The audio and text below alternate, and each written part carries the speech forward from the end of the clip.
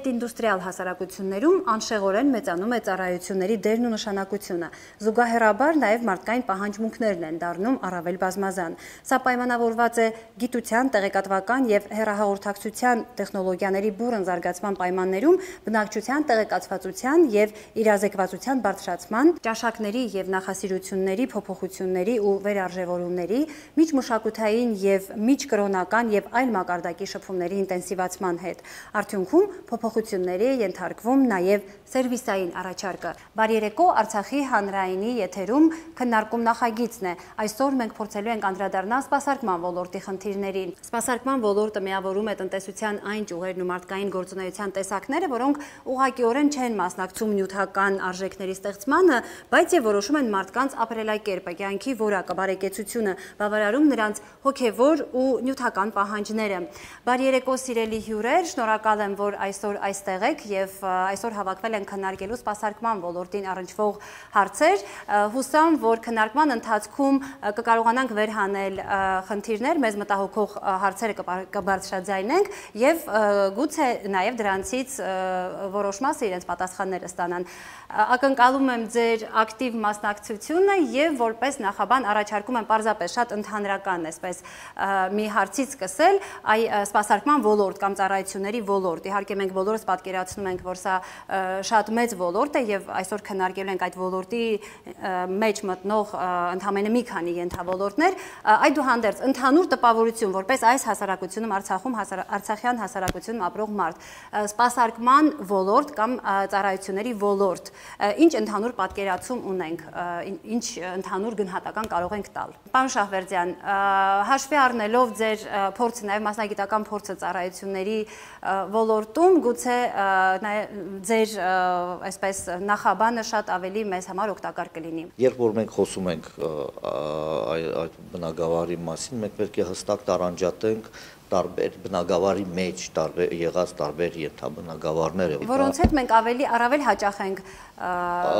որոնց առավել հաճախ ենք առնչում թե մենք թե մեր երկրի հյուրերը զբոսաշրջիկները դա առաջին հերթին երևի հյուրանոցային ծառայություններն են, երկրորդ հերթին դա հանրային սնունդի ծառայություններն են, երրորդ երրորդը երևի տրանսպորտային ծառայություններն են։ Այս բոլոր 3 թվարկված բնակավարներում կան բացարիք լավ ծառայություններ մատուցող սուբյեկտներ եւ կան բացարիք վատ ծառայություն մատուցող սուբյեկտներ։ Ես ինձ թվում է թե ծառայությունների մատուցման բնակավարի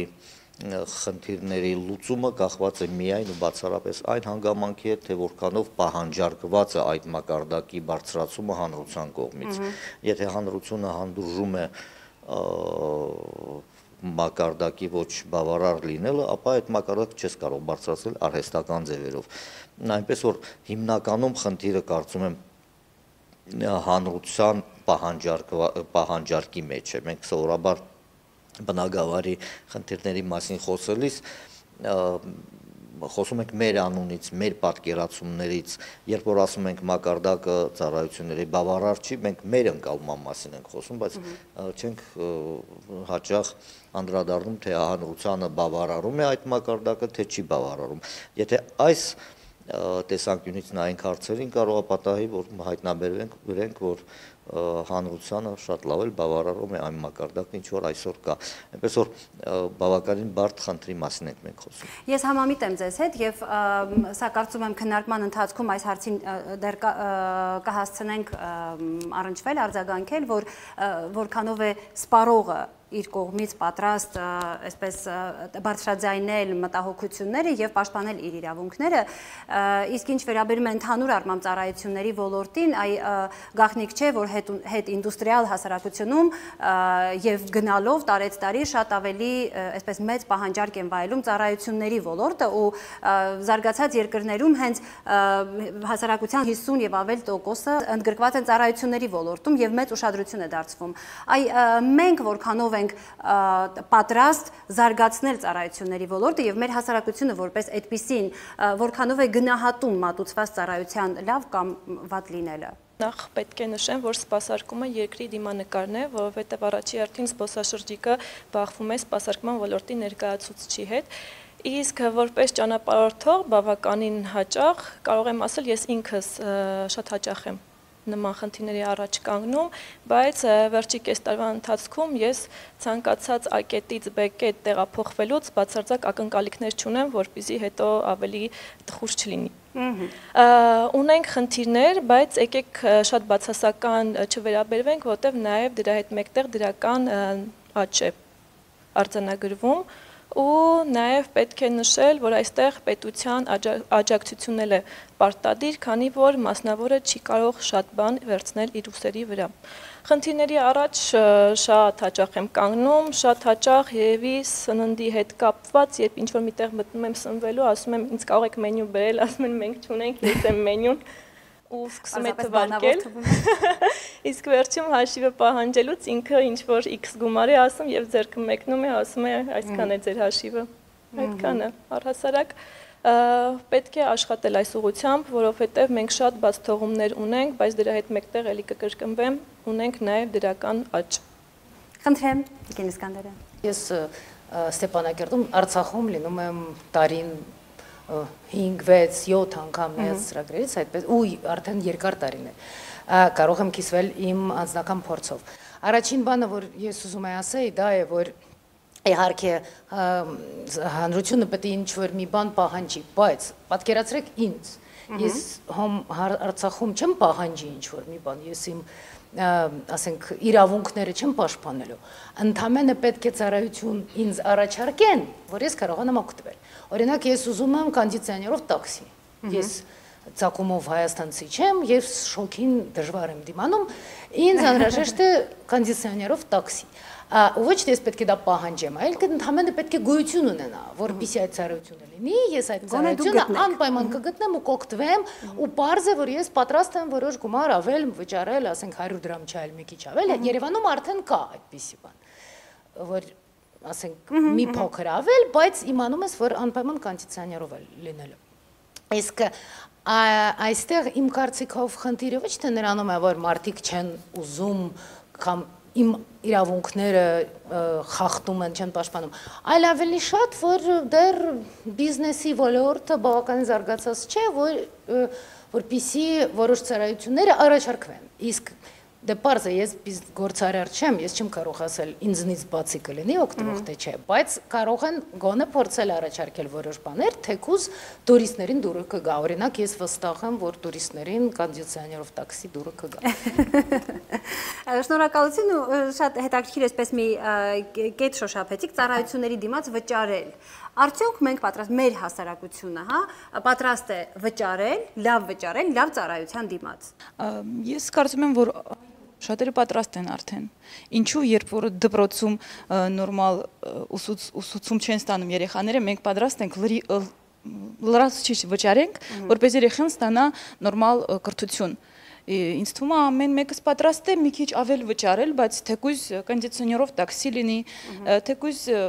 ռեստորանում սպասարկումը մի քիչ ավելի բարձր լինի, բայց մի հատ էլ բան կա, որ էտել որ ասեմ մեզանից չի գալիս, այլ լրիվ հասարակությունը պատրաստ պիտի լինի ընդունի սպասարկման ոլորտում աշխատող մարդկանց աշխատանքը հարգի, գնահատի։ Այսինքն, եթե աշխատողը իր գործը անում է սպասարկման ոլորտում, հա, սպասարկողը ինքը թեկուզ մատուցողը, հա, օրինակ բերենք, մատուցողը եթե իր գործը սիրով է անում, դու ուզում ես, որ ավելորդ թողես թեավճար, հա։ Իսկ եթե դու զգում ես, որ ինքը ինչ որ լավ չի մոտեցավ, ինքը թեկուզ ժպիտը ինչն է պակասում մեր ժողովրդին տուրիստների հետ շատ եմ վերջերս առնչվում եւ իրանք միշտ ասում են դուք ոնց որ տխուր եք ասում եմ չէ տխուր չենք ասում եմ դուք բաց ժողովուրդ եք բայց ունքերը իրար տված տենց ձև ոնց որ չեք ուշադրություն դարձեք եւ որ տուրիստ ես պատահում ինքը մի անգամից ճպտում է։ Մի անգամից ճպտում, բայց մերոնք sense նայում են վախած, ես ինչու ճպտած։ Բաց չենք, պատրաստ չենք։ Շատ կարևոր է այդ պահանջարկի ու առաջարկի այդ փոխկապակցվածությունը։ Այսինքն ինչա պահանջում հաճախորդը եւ մենք ինչ ենք պատրաստ առաջարկելու։ Այդտեղա հիմնական ոնց որ մեխը։ Սպասարկման հետ կապված իսկապես կա մեծ խնդիր։ Դա մարդկանց մարդկային ռեսուրսն է, որը որ ուղղակի բացի պակասելուց, ուղղակի ես զգում եմ, որ ինֆորմացիան է շատ քիչ, ինֆորմացիան, այսինքն դաժե նկատում եմ, որ այդ ոլորտը հենց կոնկրետ մատուցելու, մատուցողների կամ բան, ինքը մի քիչ տենց, չգիտեմ, հանրային ոչ adekvat բան կա, ընկալում ընկալում կա այսինքն եթե ինչ որ մեկը պետքա սպասարկման ոլորտում աշխատի ընդཐུպ ասում եմ որ այդ այդ ոլորտում ֆինանսը մի քիչ շատ է այսինքն իրանք բացի աշխատավարձից վաստակում են թեավճարներից գումարներ որոնք որ բավականին շատ է քան այն մարդկանց ովքեր որ աշխատում են ասենք տենց ավելի կաբինետային աշխատանքում բայց դաժե այդ հնարավորություն չի տալիս մարդկանց աշխատելու։ Չգիտեմ, հանրային տենց ընկալում կա, որ այդ կարծրատիպն է պետք կոտրել։ Ես բացի նրանից Հայաստանի ռեստորատորների հիմնադիր խորհրդի անդամ եմ ու մեր ամենակարևոր այս պահին ոնց որ քննարկման թեմաներից մեկը շրջաններում նաև առաջնային տեղ մեր համար Արցախն է պետքա տենց փորձի փոխանակման եւ այլն մտածում ենք ինչ որ ելքեր, որոնք որ կստիպեն կամ մի քիչ կշարժեն մեր հանրությունը ծայրահեղությունից ծայրահեղություն է, որովհետև մի կողմը սպասարկման այսպես ասած անձնակազմը մտածում է, որ դա ինչ որ վատ բան է ու հոգեբանական ինչ որ ճնշում կա, իսկ մյուս կողմը, որը վճարում է, մտածում է ես գումար եմ տվել, ուրեմն դու պարտավոր ես։ Բայց դա այդպես չէ, ես համամիտ եմ, որ այստեղ ինֆորմացիայի բաց կա։ Կուզեի ավելացնել, որ Արցախում այո մի քիչ դժվարանում են ժպտալ, որովհետև նաև Կոնիֆայի ժամանակ էի այստեղ, բնակվում էի Եվրոպա հյուրանոցում, Պադանիայի ֆուտբոլային թիմի մենեջերը մտեցավ, ու դու ժպտում ես 9 օրվա ընթացքում, ասեցի Ես Երևանից եմ, ասում եմ, այնքան հետաքրքիր է, ասում ենք հասկանանք ինչն է։ Տարական շփման խնդիր կա, ես ինքս բախվել եմ վերջերս Ղարաբաղ տելեկոմում, հենց քարտ վերցնելուց ու սպասարկող մարմինն ասում է ես չեմ սիրում նման բաներ։ Ես ասեմ դուք հասկանաք որ դուք սպասարկման ոլորտից եք, իսկ ես հաճախորդ եմ, միգուցե կարող է ես շատ համահանեմ, բայց դուք պետք է այսպես ասած զիջել, որովհետև ձեն այդպես է։ Ղարաբաղ տելեկոմից խոսեցինք, մենք ունենք նաև հերահաղորդակցությունների ոլորտը կարգավորող, հա, այսպես ասենք, պատասխանատու մարմնից եւ գիտենք, որ նաև հա, այս հերահաղորդակցությունների ոլորտում իրականացնող իրականացվող սպասարկումը այսպես մեծ չափով ազդում է, եթե մենք այս պահին խոսում ենք դրսից եկած նաև տուրիստների եւ կամ Արցախի հյուրերի հետ, այ կխնդրեմ դուք մեկնաբանեք, ինչ ինչպիսի, ինչպես է կարգավորվում, ինչպես է վերահսկում ծառայությունների այս ոլորտը եւ ավելի հաճախ ինչ խնդիրների, ինչ բողոքների այսպես տարափ է ձեզ վրա։ Սպառողների եւ ծառայությունների, ծառայությունների մատուցողների շահերի հավասարակշռումը դա մեր հանձնաժողովի սկզբունքներից մեկն է։ Եվ այդ սկզբունքը պաշտպանելու համար, պահպանելու համար հանձնաժողովը աշխատանքներ է տանում հասարակության հետ, այսպես կարելի ասել, այսինքն պահպանվում է կարգավորող մարմին, սպառող այս փոխադարձ կապը այդ աշխատանքների ընթացքում մենք ասենք տեղադրում ենք բազմազան նյութեր մեր պաշտոնական վեբկայքում աշխատում ենք սպառողների հետ մեր վեբկայքի միջոցով, Facebook-յան էջի միջոցով ստանում ենք գրություններ, բարձաբանում ենք դրված հարցերը, սպառողների կողմից դրված հարցերը եւ ասեմ, որ շատ հաճախ այդ հարցերի ու բողոքների պատճառը լինում է ոչ տեղեկացված լինելը, բաժանորդի ոչ տեղեկացված լինելը ասենք վերջերս տեղադրել ենք մի քանի նյութ, որին անդրադարձ են կատարել մեր Արցախյան որոշ լրատվամիջոցներ ու շատ բաժանորդներ արձագանքել են, զարմացել են, որ օրինակ կապի սակագները ինչպիսի նվազումներ է եղել կապի սակագների վերաբերյալ։ Դա վերաբերում է ինտերնետ կապին, ասենք, կարող եմ վերել օրինակ 1 մեգաբիտ վարկյան ինտերնետը 2009 թվականից մինչև հիմա նվազել է մինչև 99%-ով, օրինակ։ Ներցանցային զանգերի սակագները նվազել են 48%-ով միջինացվածել են։ Այդ բաժանորդավճար ասված, որի համար այսքան խոսակցություններ են տարվում 66%-ով։ Եվ այսպես շարունակ։ բողոքները ձեզ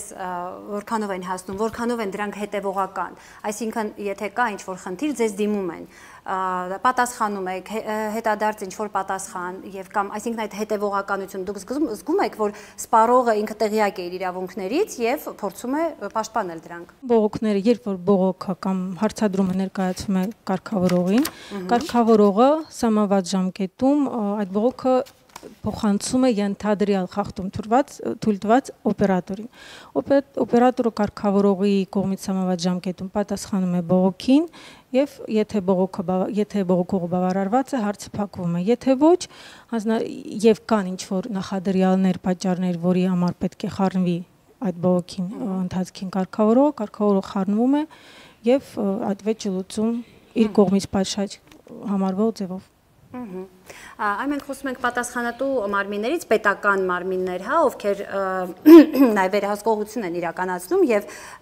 տաղավարում ներկայ շուկայի սպառողների շահերի պաշտպանության պետական տեսչության ԱՀ էկոնոմիկայի եւ արտադրական ենթակառուցվածքների նախարարության համապատասխան վարչության ներկայացուցիչը պիտի խնդրեմ ձեզ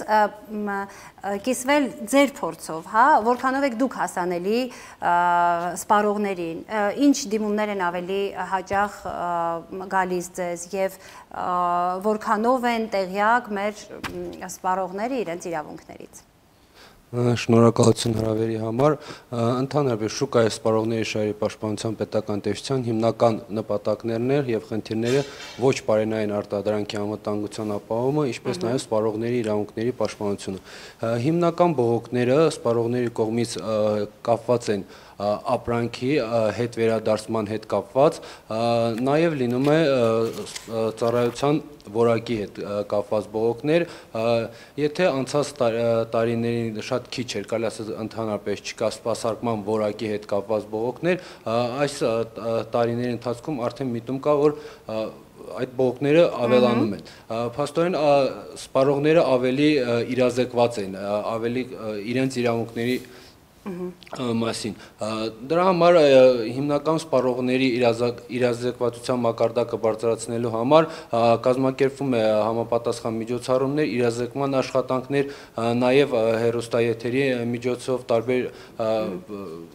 եթերներով ենք իրազեկում տնտեսվարող սպառողներին եւ նաեւ կազմակերպվում է տնտեսվարող սուբյեկտների հետ իրազեկման աշխատանքներ։ Այնց հետաքրքիր է ներեցեք։ Ենթադրենք բողոքը եկավ, դուք պատասխանում եք սպառողին եւ այդ բողոքի մասին իմանում է համապատասխան սուբյեկտը։ Ենթադրենք ծառայությունների վատ այսպես որակ ունեցող ծառայությունների համար բողոքել են ձեզ։ Մյուս կողմը տեղյակ լինում այդ բողոքից։ Եթե բողոքը կապված է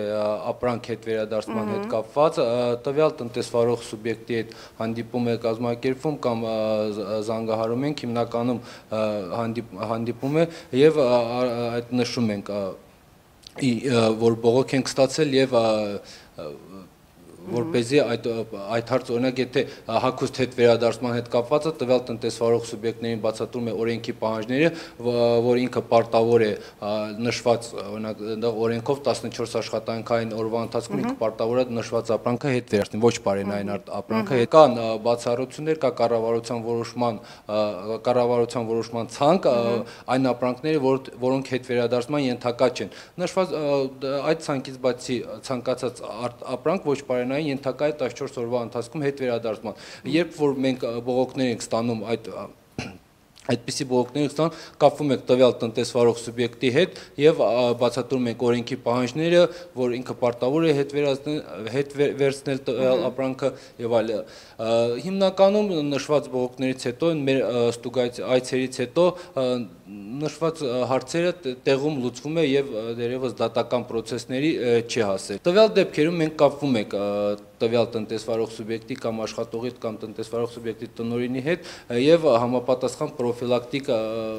աշխատանք է իրականացում իրենց հետ հիմնականում զրույց որ այսպիսի բողոքներ կան ձեր հիմնարկից եւ պետք է շտկել այդպիսի բողոքները Կովկաս ինստիտուտ գիտահետազոտական հիմնարկ Երևան այստեղ կարծիք հնչեց որ սպասարկման ոլորտի որակի բարձրացման համար պետք է լինի համապատասխան պահանջարկ ու դրան համաչափ զարգացման սպասարկման որակը բարձրանա, բայց ես գտնում եմ, որ Արցախի նման երկրի համար, որտեղ կա հսկական սպասաշրջային պոտենցիալ, բայց չկա տուրիստների համապատասխան հոսք համեմատած այլ երկրների հետ, նմանատիպ ճոխություն, այսպես ասած, թույլ տալ չեն կարող, սпасել մինչև լինի պահանջարկ ու հետո համաչափ բարձրացնենք որակը, հատկապես որ հենց այդ ոլորտում շատ բաներ ֆինանս առանձնապես չեն պահանջում, այլ հետևողական աշխատանք, փորձ, շտկում, հասարակ բարեհամբույր վերաբերմունք, արագ եւ փութավոր սպասարկում այդ ոլորտում ու լիքը մանր բաներ, որոնք կարող են կրկնապատկել են ջանքերը, որոնք ներդնում է պետությունը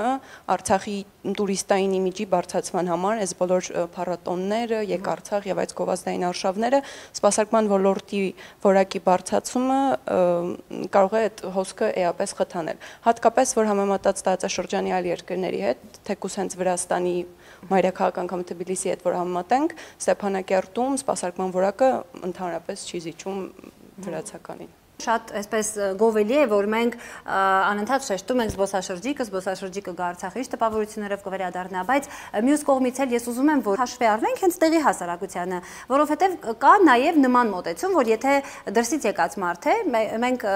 մտածում ենք սպասարկման մասին եւ այլն, հա, նույն նույն մեկը, նույն, չգիտեմ, սպասարկ կողը, ծառայություն մատուցողը եւ կամ մեկ ուրիշ դեպքում, եթե ինքը իր հասարակության անդամի հետ է առնչվում,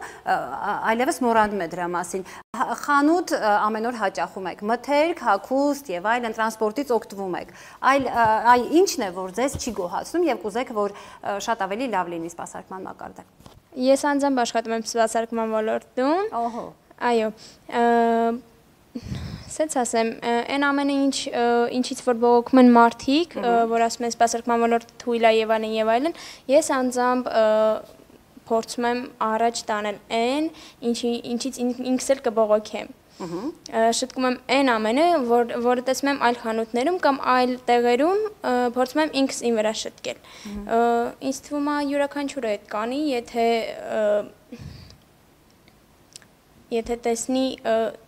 եթե դրա միջով անցնի։ Սպասարկման ոլորտը այն չի, որ կարա մարդ դրանից կոմպլեքսավորվի թեկուզ մեր մեր երկրում դրանից շատ են կոմպլեքսավորվում ամեն ինչ շտկվելու տեղ ունի իհարկե ժամանակի հետ եթե նայեք, օրինակ եթե այս տիպի քննարկումներ ավելի արագ կազմակերպեն, հաճախ կազմակերպվեն, թեկուզ կամ ինչ որ սեմինարներ լինեն, սպասարկման ոլորտի որակը բարձրացնելու համար կամ նոր որ ասեցին հերոստատեսության որևէ թեկուզ են գովազդի միջոցներով։ Այդ ամենը կշտկվի ժամանակի ընթացքում, եթե մարդիկ հետևողական լինեն, ինչպես որ ասացիք, եւ Եվ թերևս տեղեկացված։ Տեղեկացված։ Կարևորը հենց այդ է, որ մարդիկ տեղեկացված չեն ինչ ինչ իրավունքներ ունեն ինչ կարող են պահանջել դիմացինից եւ ընդհակառակը կա տենց կարծրատիպ երևի հասարակության մեջ որ ամոթ է եթե վերցրել եմ այս ինչ որ իրը տանեմ հետ տամ ես միշտ այցելում եմ այդ խանութ եւ ամոթ է ոչինչ թող չհակնեմ թող մնա պահարանիս մեջ բայց չանեմ իսկ սպասարկման ոլորտի բարելավման համար ինչքանով տեղյակ եմ ուրիշ երկրներում թեև եւ Հայաստանում խանութներում անց են կացվում տրեյնինգներ աշխատակազմի հետ հենց մեկը բարեհամբույր աշխատանքի համար ժպտերես լինել եւ հաճախորդին գեղեցիկ եւ ճիշտ մոտեցում ցուցաբերելու համար կառաջարկեի մեր խանութների սեփականատերերին այսպես ասած մտածեն դրա մասին, այո ուշադրություն դարձնեն։ Շնորհակալություն։ Խնդրեմ։ Բնավորության խնդիր է մեր բնակչության։ Ամեն մարդ կարծում է, որ ինքը ամենից լավն է իմանում այն ինչ որ իրեն մատուցում է։ Ընդամենը 1 ամիս առաջ Կոնիֆայի նախորյակներին երեք տեսակի տրեյնինգներ են կազմակերպել, բաց տրեյնինգներ ու եթե առաջին տրեյնինգի առաջին օրը օրինակի համար 26 մարդ էր, հաջորդ օրը 8 մարդ մնաց։ Թե պետությունը, թե հասարակական տարբեր կազմակերպություններ բարբերաբար կազմակերպում են Արցախում տրեյնինգներ։ որոնց մի զգալի մասը վերաբերում է ծառայությունների մատուցման բնագավառին։ Պարզապես տրեյնինգին մասնակցելու ցանկացողների խնդիր ունենք մենք։ Դա գալիս է այն հանգամանքից, որ մարդիկ առաջին հերթին կարծում են, մտածում են, որ ամեն ինչ գիտեն, երկրորդը մտածում եմ, որ այսպես էլ յոլա կգնանք, ինչու պիտի ժամանակ ծախսենք ու ինչ որ նոր բաներ սովորենք։ Իհարկե, Կրիստինայի հետ շատ համամիտ եմ, որ մեր մի շարք, ասինքն երիտասարդ խավը արդեն դուրս է գալիս այդ կոմպլեքսների վիճակից եւ մենք շատ հաճախ հանդիպում ենք այնպիսի իրավիճակներ, երբ որ երիտասարդները իրենք պահանջում են տրեյնինգներ, իրենք մասնակցում են տարբեր ուսումնական ծրագրերի, դա շատ դրական բան է այնպես որ տրեյնինգի մասին խոսելիս միշտ պիտի նկատի առնենք, բայց ուզում են արդեն տրեյնինգ լինի, թե ոչ։ Շատ դառը փորձառության հիման վրա եմ ասում այս կանը։ Շնորհակալություն։ Ես ուզում եմ նաև խոսենք տրանսպորտից, քանի որ սա էլ այն ոլորտն է, որին մենք հաճախ առնչվում ենք եւ ինձ խնդրել են անձամբ փոխանցել մտահոգող հարց, այսպես միջ շրջանային, հա, տրանսպորտի հետ կապված նախ ինչպես են այսպես ընտրվում վարորդներին սկզբունքով ու հաճախ այդ վարորդների կողմից շատ կոպիտ վերաբերմունք են արժանանում ուղևորները ու միջադեպ են նույնիսկ պատմել, երբ որ այդ երթուղուց օգտվում է խոսքը վանք Ստեփանակերտ վանք երթուղու մասին է օգտվում է տուրիստը եւ հենց զբոսաշրջիկի ներկայությամբ վարորդը իրեն այսպես կոպտություն է թույլ տվել։ Այ ինչ որքանով է կառավարելի այս վիճակը եւ ինչ է արվում ձեր կողմից։ Ավտոբուսային երթուղիների վերապահումը իրականացվում է մուրցութային եղանակով այն լիազոր մարմնի կողմից հաստատված հանձնաժողովի կողմից իրականացվում է մրցույթ ընդհանուր օգտագործման ավտոմոբիլային տրանսպորտով ուղևորների կանոնավոր փոխադրումն ընտրության մրցի մրցույթի կարգի պահանջներին համապատասխան հետևաբար որքանով է վարորդի անձնական որակները երևում այդ մրցույթի շրջանում գնահատում է գնահատում է վարորդի աշխատանքային փորձը ըստ ներկայացած տեղեկանքի կամ աշխատանքային գույքի գնահատում է ինչքան շատ աշխատանքային փորձ ունի այդ տրանսպորտային ոլորտում նրա միավորը գնահատում է ավելի բարձր։ Արդյոք սա ճիշտ մոտեցում է։ Ես ունեմ 50 տարվա, լավ, 20 տարվա աշխատանքային փորձ, բայց շատ կոպիտ եմ Եվ մյուսը ունի աշխատանքային փորձ երկար տարիների, բայց ինքը կարող է շատ բարեհամբույր վերաբերել ուղևորների հետ։ Նոր դուք հնչեցրեցիք Ստեփանակերտ վանք երթուղու երթուղին սպասարկող վարորդի վերաբերյալ, ուրեմն մեր մոտ եկել է ուղևոր, որը դժգոհել է հենց այդ երթուղու սպասարկումից, այդ միջադեպի հետ կապված կատարում է գործընթացներ։ Պետք է ուղևորների կողմից նաև պահպանել էթիկայի կանոնները։ Իսկ դժգոհության դեպքում խնդրում եմ դիմեն տեսչական մարմին, որը վերահսկողություն է իրականացում տրանսպորտի ոլորտի օրենսությամբ սահմանված կարգով։ Իհարկե, համամիտ եմ, որ շատ անխիղճ ուղևորներ էլ կան, որ նաև գույքն են փչացնում եւ այլն գրոտում են, նկարում են եւ այլն ախտոտում են։ Ամեն դեպքում ես ուզում եմ այսպես վստահաբար այստեղ ասենք, որ ցանկացած դեպքում, եթե որևէ մեկը, եթե սպառողը դժգոհ է իրեն մատուցված ծառայության որակից, նա պետք է վստահ լինի, որ կարող է դիմել համապատասխան մարմին եւ այստեղ ուզում եմ նաև շեշտել, որ մենք հաճախ ասում ենք պետական, այսպես մարմիններ պետք է նպաստեն եւ այլն, բայց այստեղ շատ կարեւոր է նաև հասարակական կառույցների արկայությունը, այսինքն սպառողների շահերի, այսպես պաշտպանությամբ զբաղվող ինչ որ հասարակական միավորումներ, կառույցներ, ընկերություններ եւ այլն, որոնք որոնք կարող են թեթևացնել նաեւ հենց այս պատասխանատու օղակների դերը ու զբաղվեն տեղեկացվածությամբ, հա, տեղեկացվածության բարձրացմամբ։ Բնականաբար պետական մարմինները չեն կարող իրականացնել վերահսկողական գործառույթները ամբողջական ծավալով, որովհետեւ աշխատանք շատ մեծ ծավալի է ու անհնար է ենթադրել, որ պետական կարգավորող մարմինները կարող են մտնել յուրաքանչյուր խանութ, կարող են յուրաքանչյուր խանութում զգուշացնել մարդկանց, որ դուք պարտավոր եք ընդունել ապրանքները եւ այլն։ Սա մի քիչ ուրիշ բնագավառ է։ Ոնց է լուծվում հարցերը այլ տեղերում։ քաղաքացիական հասարակություն է ձևավորվում երկրներում, որը ինքը վերցնում է իր վրա վերահսկողական լիքը ֆունկցիաներ, որոնք մենք ցավոք սրտի այս հասարակական քաղաքացիական հասարակությունը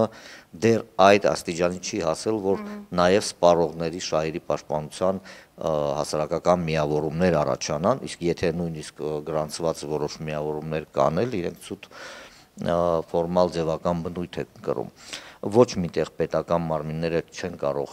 ապահովել համապատասխան որակի ծառայությունների մատուցում, չեն կարող վերահսկողություն իրականացնել ամեն ինչի վրա։ Մենք միշտ սովորաբար ամեն ինչում մեղադրում ենք պետական մարմիններին, բայց արի ուտես պետական մարմինները չէ որ լիքը խնդիրներ պիտի լուծեն, դա քաղաքացիական հասարակությունը պիտի արի։ Եվ այստեղ գալիս է այլ հարց, իսկ մենք ինչ ենք անում, որպեսզի ձևավորենք աջակցենք քաղաքացիական հասարակության ձևավորմանը տվյալ պարագայում մենք խոսում ենք բանի ծառայությունների մատուցման, սպասարկման բնակավարի մասին, բայց այդ նույն բնակավարը, այդ նույն խնդիրը մենք ունենք իրավագիտության բնակավարում հասարակության իրավական գիտելիքների բարձրացման, այսինքն ընտրությունների ժամանակ իրավունքների պաշտպանության ընդհանրահասարակ իրավունքի բնակավարում մենք ունենք քաղաքացիական հասարակության ձևավորման խնդիր։ Ու կարծում եմ մի շարք խնդիրներ, որոնց մասին մենք այսօր այստեղ այս սեղանի շուրջը խոսում ենք, ինքնաբերաբար կլուծվեն, եթե այդ քաղաքացիական հասարակությունը հասունանա ու մենք ունենանք նաև սպառողների իրավունքների պաշտպանության պաշտպանությամբ զբաղվող հասարակական կազմակերպություններ։ Շնորհակալ եմ եւ ուզում եմ անդրադառնանք նաեւ հյուրանոցային ծառայություններին, քանի որ այո, ինչպես արդեն բազմիցս նշվեց, Արցախը հյուրընկալ երկիր է եւ սիրում է իր հյուրերին գոհ ճանապարհել։ Մենք որ ասեմ իդեալական սպասարկում ունենք, այդպես չէ, իհարկե մենք մեր տնօրինությունը բոլորս էլ տեսնում ենք, բայց